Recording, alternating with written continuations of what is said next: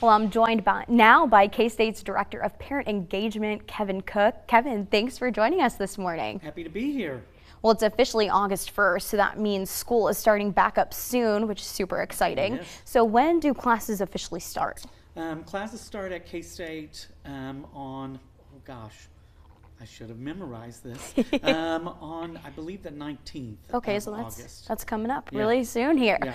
Well, what events are going on on campus to welcome students back? Yeah, so if you're a brand new student to K State, events start um, that Thursday before classes begin with a big kickoff event, as well as events to help students get oriented to their academic area or college.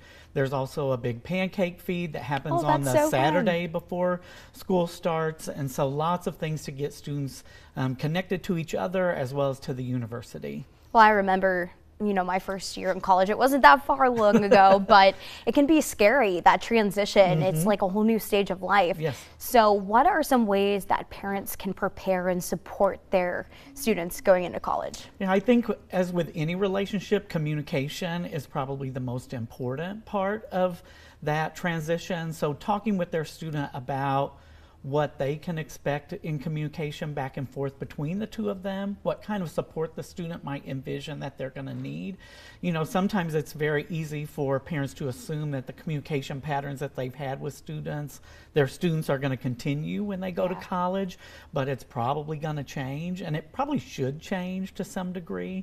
Um, and I think the other part is um, trying to think through um, how a student is going to um, make connections at the university because that's one of the things that is very um, telling about student success or very right. clear to make a student successful. So helping their student kind of have a plan about how they're going to meet new people and what kind of things they're going to get involved in.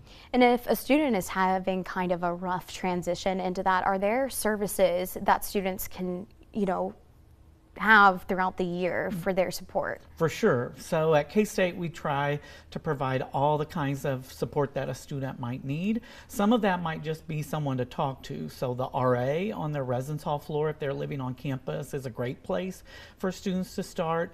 But it might be that they have more significant things that they need to, to deal with. So we have various offices across campus that can do that, like our counseling and psychological services or our Office of Student Support support and accountability that are really there to just help students advocate for themselves. If a student's struggling academically, there's tutoring and academic coaches that are there to help students as well. That's so great. a wide variety of things to kind of holistically support students in their well-being.